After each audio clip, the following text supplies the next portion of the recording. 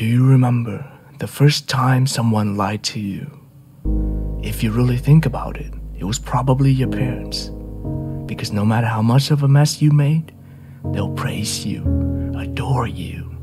But that's fine. That's a white lie, the kind of lies that doesn't hurt anyone. I'm talking about the lies that hurt others, the kind of lies that leaves you in pieces. Maybe you loved someone truly and dearly, only to find out that they cheated on you.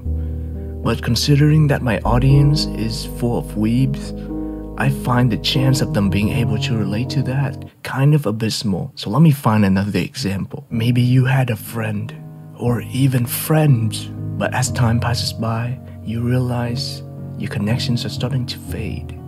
You found out that they only wanted you for what you could offer, be it money, status, whatever you could offer them that is not you yourself. They never cared about you. You see, I like to read Japanese light novel, but to stay up to date, you gotta understand the language, and I'm learning. So one day, I came across this YouTube shorts.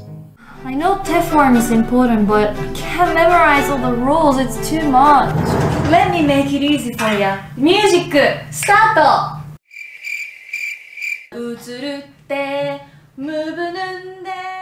If you watch it in its entirety, you realize the only time when there is no music is when she said, Music, start! This is unforgivable. But everything has its ultimate form. Truth is an ultimate lie. Thus, by my hands, this lie shall enter the realm of reality! Music, start!